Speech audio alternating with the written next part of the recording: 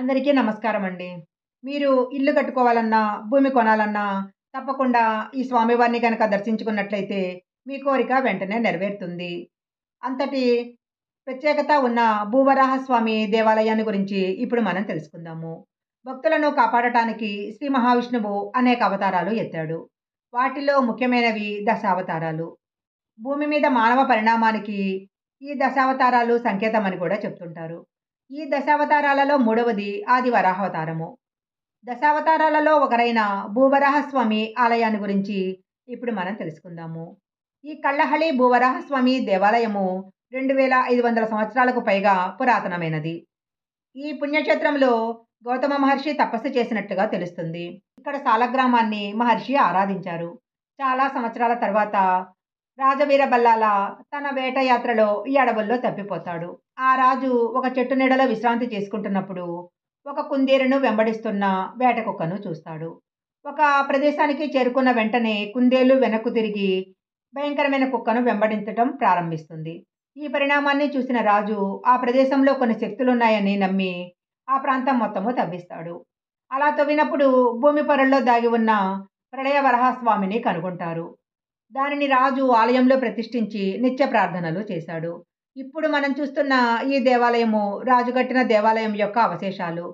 తీవ్రమైన వరదలను ఎదుర్కొని కేవలము ఈ కథను ప్రజలకు తెలియజేయటానికే ఆకారంగా నిలబడి ఉంది. ఈ ఆలయానికి ఎదురుగా ఉన్న దేవనాగిరి శాసనాలు ఉన్న శిలాఫలకము మనకి స్థల చరిత్రను గురించి తెలియజేస్తుంది. ఈ దేవాలయము హేమావతి నది ఒడ్డున కళ్ళహళి అనే గ్రామంలో ఉంది. అనేక వరదల నుంచి ఈ ఆలయం ఎన్నోసార్లు బయటపడింది. ఈ ఆలయాన్ని బూడిదరాళ్ళను ఉపయోగించి దీర్ఘచతురస్రాకారంలో నిర్మించారు. వెలుపల నుంచి ఈ దేవాలయము చాలా సాదాసీదాగా కనిపిస్తుంది. కానీ లోపల ఉన్న విగ్రహం మాత్రము చాలా ఉత్కంఠభరితంగా ఉంటుంది. ఆలయము రెండు భాగాలుగా విభజింపబడింది. గర్భగృహము గర్భగుడి. ప్రధాన దేవత అయిన వరాహస్వామి విష్ణువు యొక్క మూడవ అవతారము. దీన్ని ప్రళయ వరాహస్వామి ఆది వరాహ మహేషి అని కూడా పిలుస్తారు. ఈ అవతారంలో హిరణ్యాక్ష అనే రాక్షసుడి నుంచి భూదేవిని కాపాడటానికి విష్ణువు పందిలా కనిపిస్తాడు. భూవరాహస్వామి యొక్క విగ్రహము సుఖాసనంలో పదిహేను అడుగుల ఎత్తులో కూర్చొని ఉంటుంది.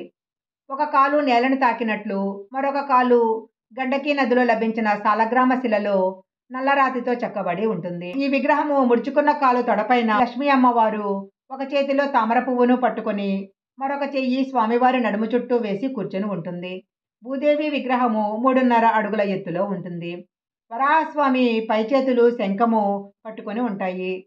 విగ్రహం వెనక భాగంలో సుదర్శన చక్రం చెక్కబడి ఉంది. వరాహస్వామి వారి ఎడమ చెయ్యి దేవిని ఆలింగనం చేసుకున్నట్లు ఉంటుంది. ఈ విగ్రహము రెండు వేల సంవత్సరాల క్రితము గౌతమ మహర్షిచే స్థాపించబడింది. విగ్రహము పెద్దగా గంభీరంగా ఉన్నప్పటికీ దాని నుంచి వెలువడే శక్తి మాత్రము చాలా సున్నితంగా వెచ్చగా ఉంటుంది. దేవత యొక్క జన్మ నక్షత్రమైన రేవతి మరియు దాయమాసంలో వరాహ జయంతి రోజు ఇక్కడ కలశాభిషేకం జరుగుతుంది. ప్రధాన విగ్రహం కింద హనుమంతుని విగ్రహం కూడా ఉంది. ఈ భూ వరాహస్వామి ఆలయము హేమావతి నది ఒడ్డున ఉంది. ఈ నదీ ప్రవాహము ఎక్కువగా ఉండటం వల్ల నదిలో ఈత కొట్టటము పుణ్యస్నానాలు చేయటానికి అవకాశం ఉండదు. వర్షాకాలంలో ఈ నదిలోని నీరు ఆలయం గోడలకు చేరుకుంటుంది. అందువలన వరదల నీరు తగ్గినప్పుడే ఇక్కడ వార్షిక బ్రహ్మోత్సవాలు జరుగుతాయి. ఈ ఉత్సవాలలో భక్తులు పెద్ద సంఖ్యలో పాల్గొని స్వామివారి దర్శనం చేసుకుంటూ ఉంటారు. ఈ వీడియో కనుక మీకు నచ్చినట్లయితే లైక్ చేయండి షేర్ చేయండి. ఇలాంటి మరిన్ని ఆలయ విశేషాలు తెలుసుకోవటానికి మా ఛానల్ సబ్స్క్రైబ్ చేసుకోండి. పక్కనే ఉన్న బెల్ ఐకాన్ని యాక్టివేషన్ చేసుకుంటే మేము పెట్టే వీడియోలన్నీ కూడా మీకు ముందుగానే నోటిఫికేషన్గా వస్తాయి. మరొక మంచి వీడియోతో మళ్ళీ కలుసుకుందాం.